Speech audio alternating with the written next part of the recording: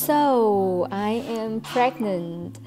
Uh, yeah, it has been over three months now. I am finally over uh, with my first trimester. Oh boy, let me tell you, it was the most miserable month that I ever lived. So I am so glad that um, it's over.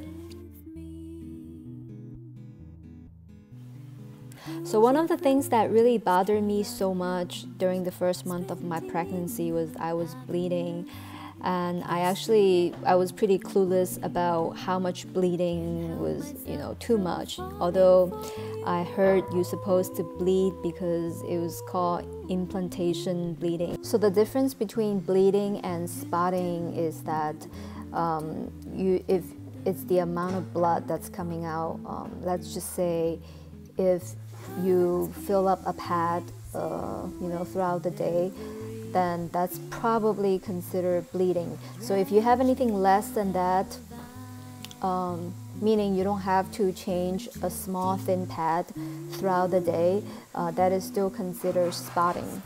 So for those of you who are experiencing that, I hope that, you know this information could give you a bit peace of mind.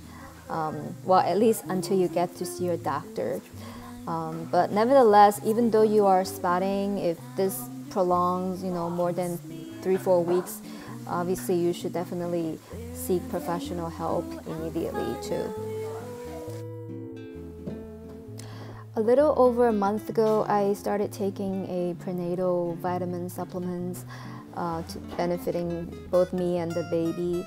So um, that's doing pretty well, I assume. and I'm also taking a skin and hair supplement, um, hoping that's gonna, you know, prevent any hair loss or um, upcoming or incoming stretch marks, I should rather say. Um, so yeah, I don't know if you guys know any um, tricks or tips to prevent stretch marks, you know, as far as what kind of cream. I know there are all kinds of creams out there, so let me know if you know any good ones.